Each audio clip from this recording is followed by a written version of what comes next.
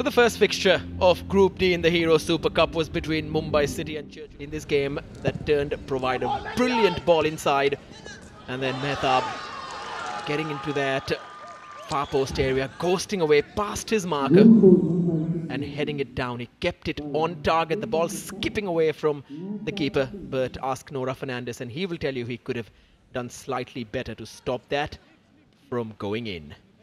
At one all, the game was open again. And Mumbai City, they tried everything down the wings, but it was through the middle when they looked very, very threatening. Rahul Bheke hitting the bar on that occasion. Kroma went on his own and the opportunity was lost.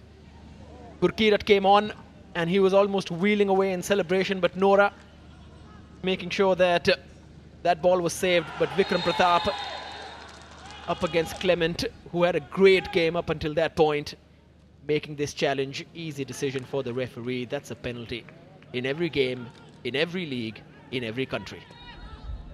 Shankar has already scored in the Hero ISL and in the Durand Cup, and now he adds a Hero Super Cup goal and a winning goal for Mumbai City as they open their account in this group, which also has Chennai and Northeast United. But three big points for a new young group for Des Buckingham, and they will want to carry the momentum forward. Ну и жители.